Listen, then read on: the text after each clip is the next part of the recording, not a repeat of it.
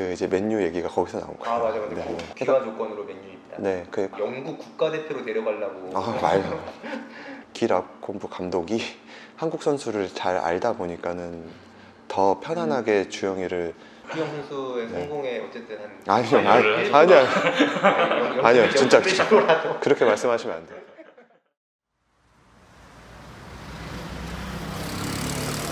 카메라 켰어요? 방금 식사하셨지? 아, 지금 어디 앉아 있어? 애들 많아가지고 그럼 그냥 좌식으로 해볼까요? 형 좌식은 귀중한 시간 내주셔가지고 너무 감사합니다. 네. 조건광 선수.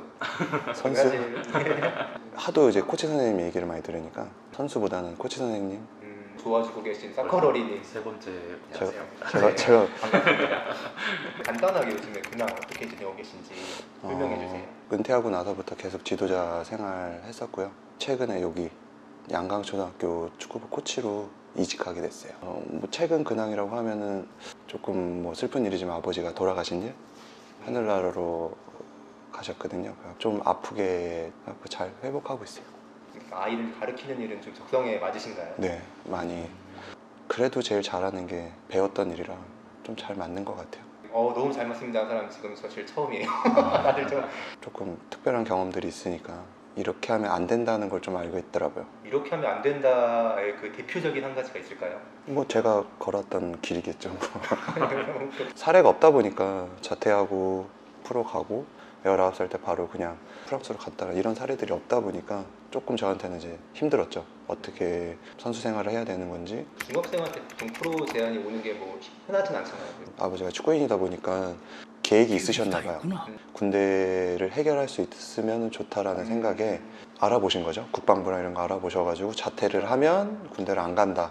그 당시 안양에서 특히 그런 걸 많이 하지 않아요? 막 예를 들어 이청용, 선수. 그러니까 저가 첫 번째로 85년생 중에 저 혼자 가고 그 밑에 86년생 3명, 87년생 3명, 이제 이청용 선수 때까지 88년생인가 그때까지 3명 이렇게 해갖고 음. 마무리가 된 것 같아요. 그 이후로 이제 의무교육이 중학교까지 올라오다 보니까 자퇴를 못하고 그렇게 됐거든요.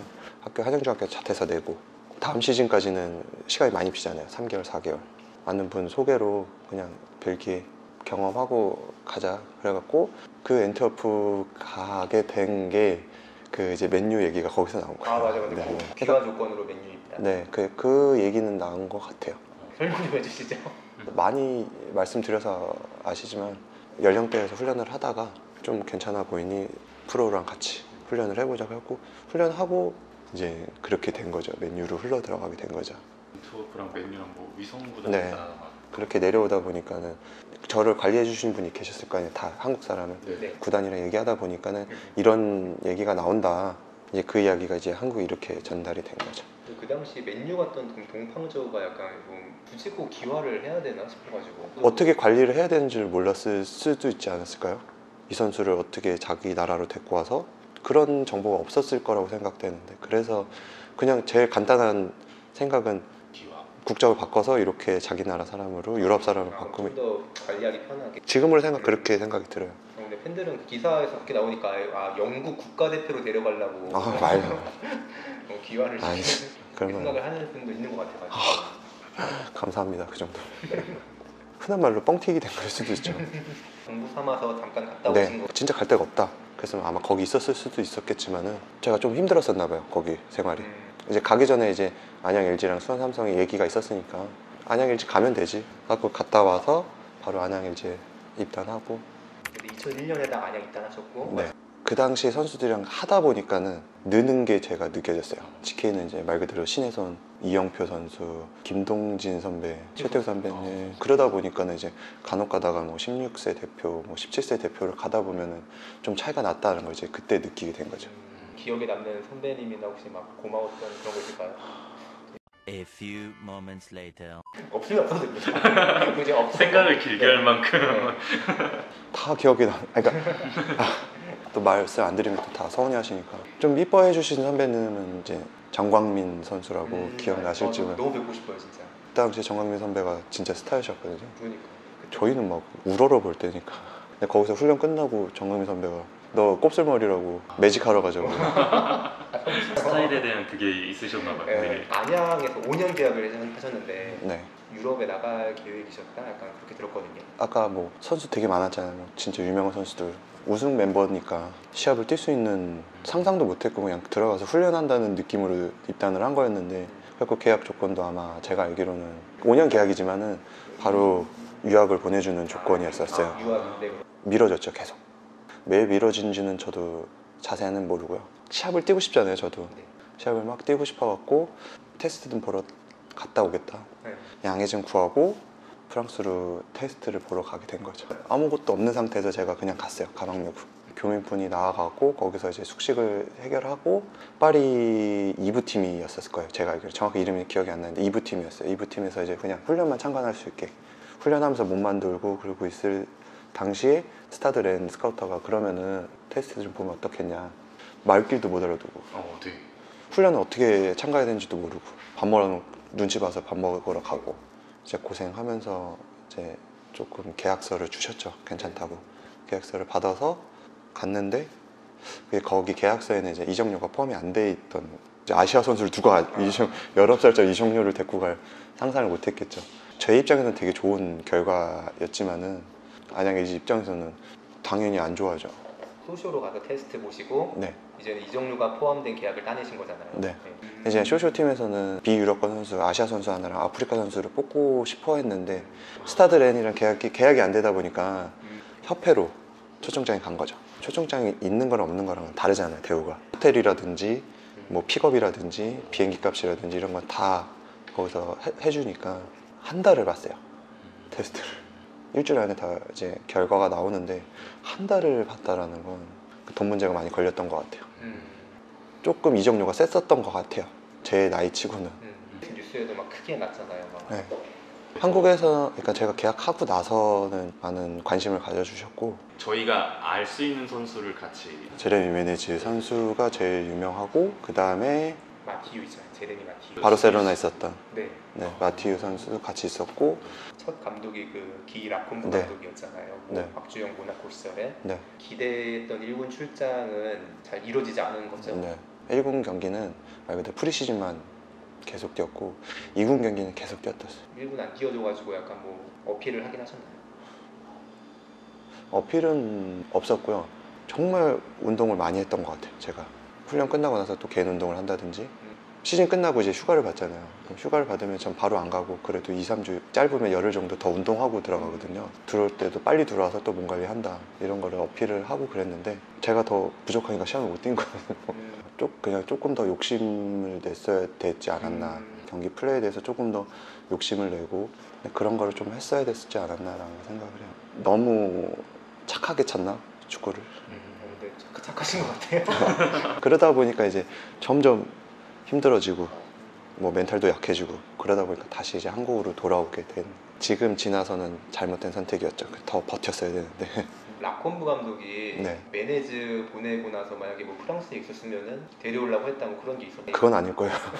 그건 아니고 모나코에 계실 때 주영이를 스카웃한 계기는 이제 메네지 선수가 로마로 가고 그 빈자리에 스타일커를 찾다 보니까는 이제 주영이가 뭐 가게 된 거죠. 기라콤프 감독이 한국 선수를 잘 알다 보니까는 더 편안하게 주영이를 기용하지 않았나라고 생각을 하는 거죠. 뭐 박주영 선수의 네. 성공에 어쨌든 한 아니요, 아니, 일- 아니요, 영- 아니요, 영- 진짜. 그렇게 말씀하시면 안 돼요. 그렇게 말씀하시면 안 되고 1도 거기에 관여는 없어요. 그렇게 말씀하시면 안 돼요. 인천 유나이티드 아마 장외룡 감독님 프랑스에서 나올 때 제가 겨울에 나왔어요. 뭐 중간에 들어갈 수도 없고 이런 타이밍이다 보니까 예전에 국민은행이 우승할 때가 있었어요.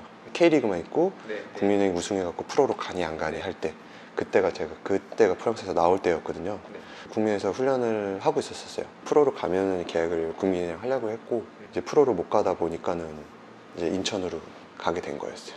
음. 1년째는 박희찬 선생님, 아, 그 다음에 장희룡 감독 선생님으로 바뀌셔서 장희룡 감독님이 조금 이쁘게 봐주셨죠. 그래도 시합을 좀 띄게 주셨어요. 계약 기간이 끝나고 나서 이제 천안시청으로 간 거죠. 인천에서는 좀 아쉬운 점이 많이 남나요? 인천 시절은? 아니요, 아니요 그런 건 없어요. 제가 그 당시엔 진짜 열심히 했거든요. 음. 진짜 훈련도 진짜 많이 하고 개인 운동 진짜 많이 하고 음. 했었는데 속상도 하죠. 시합도 못 뛰고 속상도 하고 뭐 어쩌겠어요. 부족한 거. 음. 뭐 제가 부족한 걸 아니까 열심히 하셨으니까 그래도. 네 후회는 없고 음. 이제 인천에서 계약 기간이 끝나고 천혜청으로 가게 된 게 하재훈 감독 선생님께서요. 저희 아버지랑 동문이세요.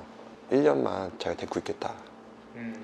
근데 지금 K1, K2, K3에다가 이제 뭐 직장인까지 다 있잖아요. 네. 그 당시에는 K1하고 내셔널밖에 없었거든요. 만약에 프로 선수가 여길 내려간다는 상상을 할 때는 은퇴를 한다는 생각으로 갔었어요. 음. 요즘보다 더 그랬겠네요. 네. 왜냐면 리그가 두 개밖에 없다 보니까. 음. 근데 정말 스트레스를 많이 받았어요. 내려갈 때. 근데 거기 합류했을 때는 전혀 그런 게 없어졌어요. 잘하는 선수들이 되게 많았어요. 대표적으로 남길 감쌤 음. 같이 같이 입단했거든요. 하재영 감독 선생님한테 축구는 이렇게 배우는 거다, 이렇게 하는 거다. 지도자는 이렇게 선수들한테 다가가야 된다 이런 걸 되게 많이 배웠어요. 거기서 많이 배워서 그 당시 골키퍼 코치 선생님이 이충호 선생님이 계셨거든요. 제주 골키퍼 코치로 가시면서 저를 이제 추천하시면서 음. 제주로 같이 옮겨가게 된 거죠. 근데 또 이- 제주에 입단하면서 몸이 만들어져 갖고 이제 시합을 뛸 수 있는 몸 상태가 됐는데 이제 아킬레스건이 이제 파열이 돼가지고 7개월 정도 재활하고 이제 하다 보니까 이제 안 되겠더라고요 몸이. 시합은 가능하고 뛸 수 있겠는데 예전만큼의 폼이 네 몸 상태가 안 나오더라고요. 음. 은퇴하게 결심한 게 아, 진짜 미련 없이 했다. 음. 남들 안 해봤던 거 다 해보고 음. 음, 프로 선수 되기도 힘든데 프로 생활도 오래 해보고 유럽 생활 선수도 해보고 국가대표는 못 해봤지만 그래도 청소년 대표는 저 베스트로 나가서 우승도 해보고 진짜 미련 없이 다 해봤다 그래서 아, 은퇴를 그냥 빨리 결심한 거죠 음. 그래도 은퇴 경기 때 마지막 골 넣고 은퇴했더라고요 그 기억이 남고 팬들께 하고 싶은 말 이거 팬들 네 있습니다. 당연히 있어요. 요즘 코로나 때문에 너무 우울증도 많으시고 건강도 위태로우신 분들 많으신데 힘내셔서 건강 잘 챙기셨으면 좋겠어요. 모든 일이 건강이 제일 먼저잖아요. 다들 건강하셨고 건강하셨으면 좋겠고 하루를 그냥 평범하게 보내는 게 정말 감사하다는 걸 요즘 많이 느껴요. 빨리 평범한 일상이 다시 왔었으면 팬들 모두 다 그러셨으면 좋겠어요. 재밌는 얘기 해주셔가지고 네, 너무 감사합니다. 네.